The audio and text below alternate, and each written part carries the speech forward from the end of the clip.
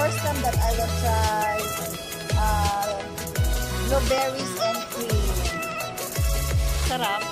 Masarap. Hindi ko alam. Tignan ko muna. Anong lasa? Hmm, sarap. Hmm, amis. Ganon, ang sarap.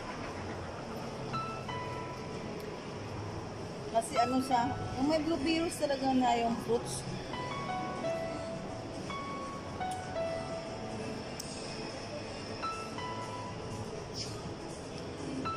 Para maiba naman, hindi lang tayo lagi doon sa isang brand. Dito naman tayo. Mahal siya besh, pero naisipan na namin bumalik dito. Lumabas na sana kami. Kasi may nakalimutan kaming bilhin kaya bumalik na naman kami dito sa loob. At saka, duma, nadaanan namin to kaya bumili na lang kami. Mm. Mm. Masarap. Talaga, kahit gusto.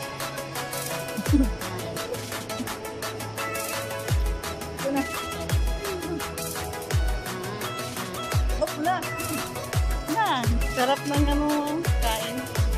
Bak na ba?